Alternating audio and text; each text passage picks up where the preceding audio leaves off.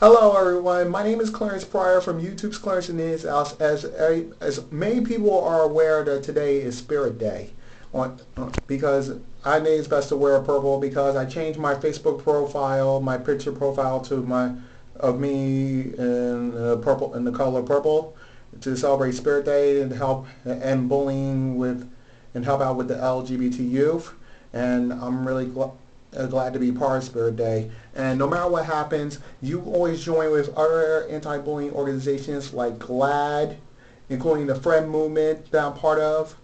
Oh, for those of you who want to be part of the Friend Movement, go to friendmovement.com and speak to my friend Ronnie Kroell, and he'll be happy to hear your side of the story of how he was bullied and stuff and join with the the Friend Movement Walk campaign, including the the new F word campaign, the fall, the fall campaign that's the, about the new F word. The new F word we're looking for is friend.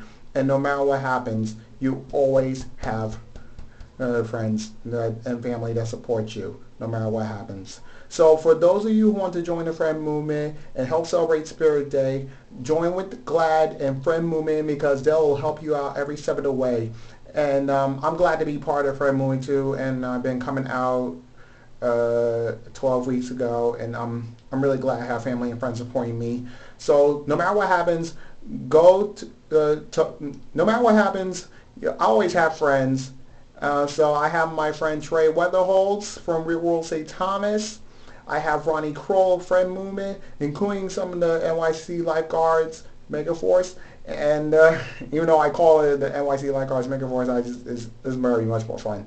So for those of you who want to join the Friend Movement, just go to friendmovement.com, go to glaad.org. They'll be helping you out every step of the way, including some of the people uh, that help out too, like Andrew Christian, including Colby Melvin, Brandon Brown, Corey Lee, and lots of other people that help end bullying because that's what really matters to help with the LGBT youth that have been bullied before.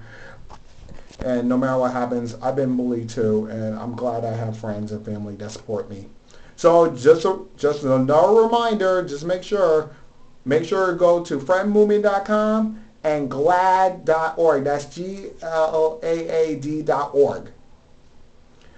And no matter what happens, to celebrate Spirit Day because we will end bullying once and for all. So until then, catch me on new episodes of Clarence In The Hizzouse, Rise to the Extreme, Saturdays and Sunday nights at 9.30 only on YouTube. Until then, I'm Clarence Pryor from YouTube's Clarence In The Hizzouse, and I'm proud to celebrate Spirit Day. Even though I don't have a, I don't have a purpose, I'm, I'm glad to celebrate, no matter what happens. So until then, take care and best wishes.